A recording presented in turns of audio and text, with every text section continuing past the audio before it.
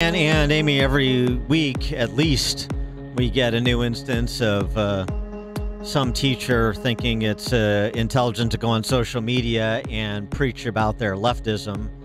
The American flag makes me uncomfortable. I've got 180 days to turn these kids into Antifa quality Marxists, and so on and so forth.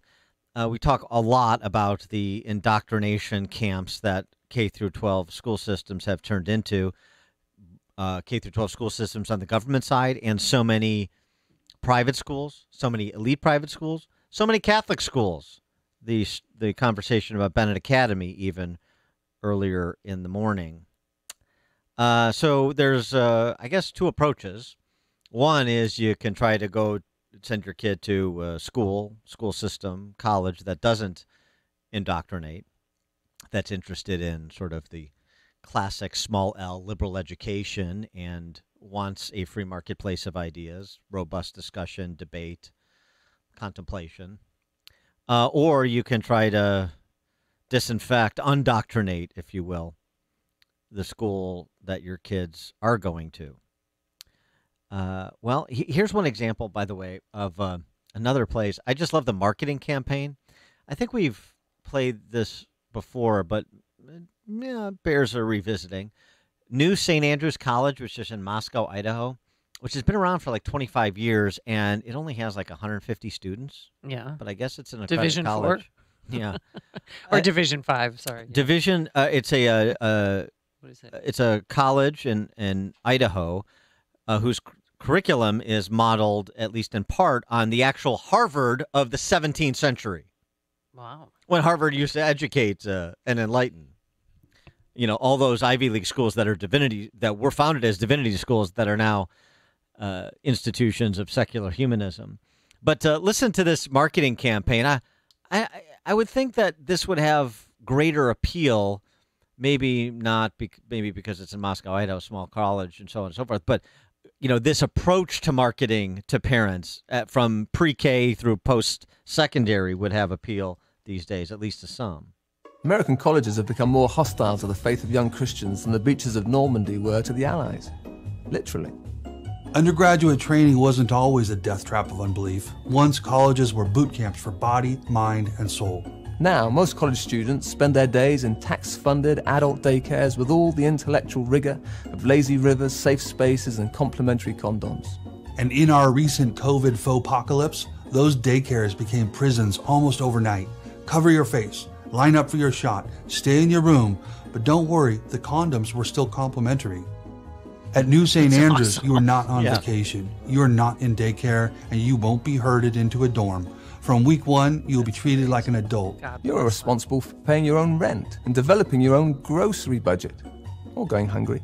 Get a shot, or don't. Mask up, or don't. Most of our students even work part time jobs on top of the 40 hour class workload. It's part of the anti fragile hustle and grind that distinguishes our graduates from the majority of their own generation, and that employers and graduate schools love.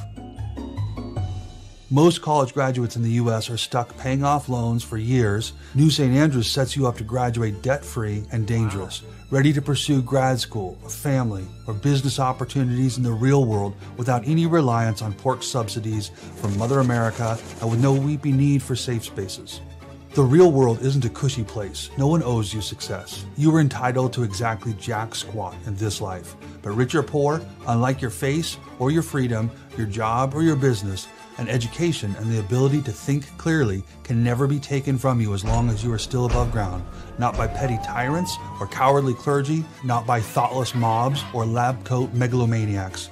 At New St. Andrews College, you'll learn from teachers whose ideas equipped men and women to build Western civilization in the first place, and which will be used again to defend and rebuild what has been lost as the West has faltered into decay, losing her faith and her mind. Uh, well, the culture on campus uh, migrated down to K through 12, migrated over to K through 12 private schools. Uh, it also expanded outward into corporate America. Maybe there are some examples like uh, I don't know St. Andrews, but the, you know Hillsdale, some of the other colleges we've talked to that can provide examples for classical Christian education and other just classical education, non-denominational, uh, inspire more private schools, even K through 12 school systems, to adopt classical education as well. To maybe some colleges can unwind what the colleges have wrought. Maybe, maybe not. For more on this topic, we're pleased to be joined by Bonnie Kerrigan Snyder. She's director of high school outreach at the Foundation for Individual Rights and Education. Her new book, Undoctrinated. Bonnie Snyder, thanks so much for joining us. Appreciate it. Hey, my pleasure. That's an amazing ad from New St. Andrews College. I think I want to go there myself. I know. Yeah, exactly. Look, I'm looking at our website right now. yeah, yeah. I, maybe I'll go back and at least audit some classes, uh, if nothing else, at this yeah. stage for me. But um, yeah. So, so what about that? You know, uh, undoctrinated. Just jump right in here. Is one of the ways to undoctrinate for some schools at whatever level to provide a model for others to replicate and or scale. You mean that they should follow what New St. Andrews College is doing? That would be a wonderful idea if they would. I, am beginning to wonder about the teacher training that is happening in schools. I, I was trained through alternate route, and uh, I learned that there are ethics that guide the practice of teaching, and what's going on in these schools is definitely unethical. Uh, when you're talking about teachers who are not allowing free thought or um, free discourse in their classrooms. That's not how it's supposed to be conducted. Well, then, how do we undoctrinate our children? What's the process? Well, I, I offer a lot of recommendations in the book, and you know, one of them is to insist on total transparency. There's been a lot of concealment of aims. We're seeing actual contempt uh, for parents. It used to be very collaborative between parents and teachers. You used to sort of hand off and expect that teachers were going to act in loco parentis. So we are seeing more parental involvement. That's going to have to continue. Uh, but I think you're also going to now have to inoculate kids. You know, we talk a lot about vaccination these days, and uh, parents are going to have to learn enough about the new theories that are, are finding their way throughout education to be able to explain to their kids the philosophical underpinnings, where these ideas are coming from. Uh, and you're going to have to debrief your kids after school, and you're going to have to supplement uh, to, you know, counteract what's happening in the classroom. Not all teachers are doing this. Uh, we do here at Fire, we're nonpartisan, uh, and teachers come to us who are very concerned that they are uncomfortable with what's going on, but they also are feeling the pressure to keep quiet. Well, and uh, you're going to need to have counsel on retainer too. I mean, you talk about transparency and you know doing things like FOIAing the school district if you can't get uh, cooperation short of uh, short of leaning on the law. And then uh, that woman, uh, that uh, mom in Rhode Island, gets sued by the teachers union for seeking public records from the school. Yeah, and uh, the teachers' unions uh, unfortunately have very, very deep pockets. And yet, ironically, if you go to the NEA's own website, they have a code of ethics for educators that is very articulate and well written, and it affirms that teachers will not unreasonably restrict students' access to competing views in the classroom. And if only they would enforce their own code of ethics, we would be in a much better place than, than we are right now. Well, right, but that's all for show. I mean, the the real play is the real play. I mean, you were a teacher, yeah. and so I mean, what what's your sense of what's happening in the profession and in the classroom? Is it just being overrun by ideologues, or is it uh, is it people that still majority people who are trying to instill a love of learning into children, but have to deal with teachers union and administrators that are ideologues? I mean, what, what's the dynamic going on in most of these schools where we see, you know, bad actors and bad and uh, that serve as bad examples? I think that there is a small group of bad actors who are still not the majority, but they are so fervent and so zealous in their pursuit of what they believe is righteous action that nothing will dissuade them.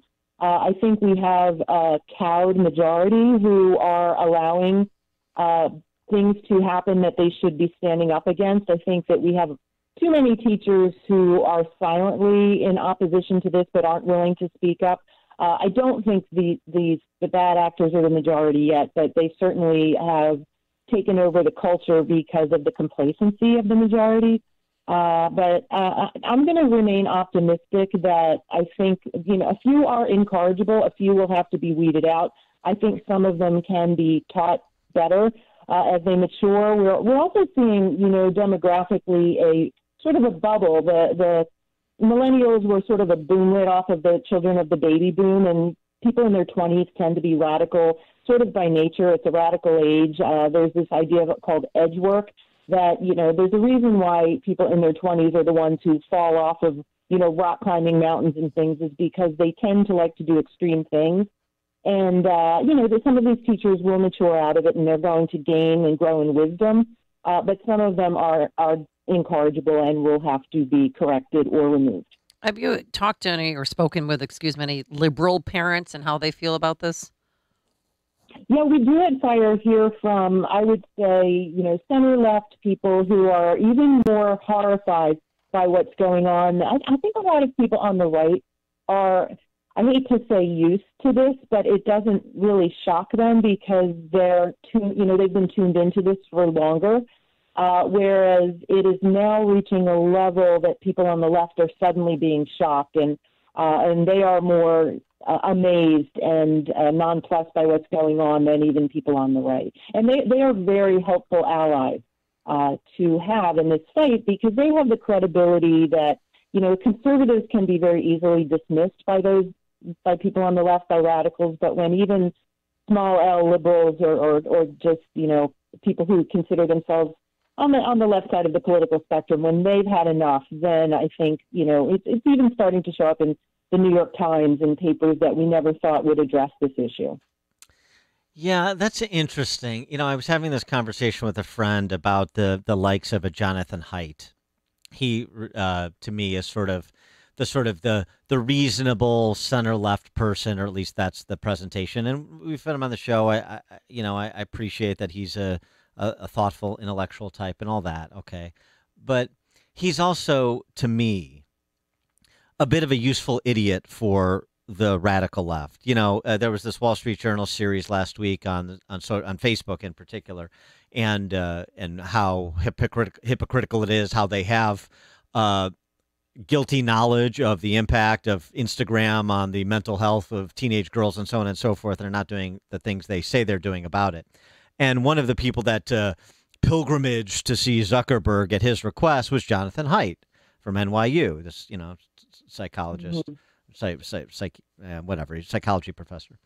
Uh, and uh, and so you know he's like he's because he's the reasonable guy that can give Mark Zuckerberg the stamp of hey um, you know he's a free speech guy he's a you know guy that's a, a little uh, jumpy about censorship and and um, he's a pro free marketplace of ideas guy but he's of the center left so he'll have credibility with uh, the elites in my circles and uh, so we need his stamp of approval. So uh, fly, you know, he flies out and so on and so forth. And and then uh, Haidt, uh, comes away basically saying, yeah, I don't know that Zuckerberg is really serious about the things that he says in congressional testimony about uh, monitoring the um, content decisions of Facebook.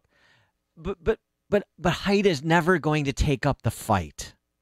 He's sort of an, an arbiter. He's sort of a sideline guy. Uh, he's uh, going to write an op-ed. He'll he'll have a conversation with Zuckerberg, but he is never going to risk sort of status. He is never going to ascribe bad motivations to people who have bad motivations.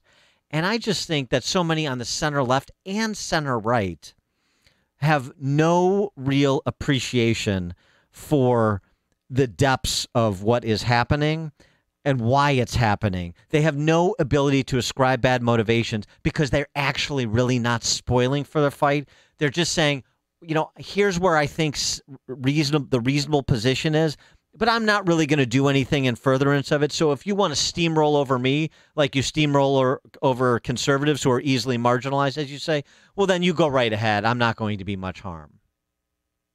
It's an interesting question of whether or not the solutions are going to come. It's unlikely, I think, that the solutions are going to come from inside the academy, which, you know, obviously Jonathan is uh, within the academy as a professor. And the ed schools are another, you know, place where so many of these problems have festered for so many decades. I would, I would uh, say it goes back as far as the 1930s. There's been you know, presumably this long march through the institution of these ideologies taking over, um, or you know, organization. You know, it's in the churches, it's in Uh, it's obviously in government. It's in the schools. It's in the colleges.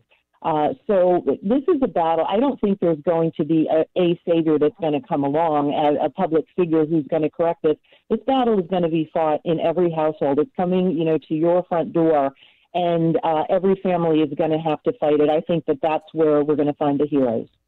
And, so uh, let, us take a, a, real world case study. Let's say, like uh, we were talking about earlier in the show. So let's say Grace Church School in um, New York City, and Paul Rossi, the math teacher that was bounced uh, from there because he didn't want to treat his kids differently based on their race in his math class of all things.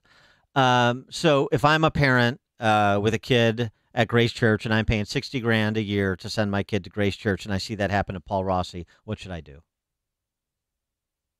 Uh, well, I, I think people need to vote with their feet. I think that you know we we hear from very very frustrated private school parents. So many people think they can buy their way out of this problem but in reality, you may be going from you know uh, from the kettle, what is it, from the fi- frying pan to into the fire. If you try to do that, uh, so uh, Paul Rossi, I think maybe you want to hire him as your personal child's tutor at this point. He may be available freelance, you know. Uh, I think that there are homeschooling pods that are being formed. I think that uh, personally, I would like to see hybrid schooling models develop where you send your kid to school for the subjects that you think are valuable and you homeschool them to the things that you're you feel confident covering. Uh, what what we're currently doing isn't working, and we're going to have to uh, to use the popular phrase disrupt this system because it is uh, it has broken down. She is Bonnie Kerrigan Snyder. She's the director of high school outreach at the Foundation for Individual Rights and Education, FIRE.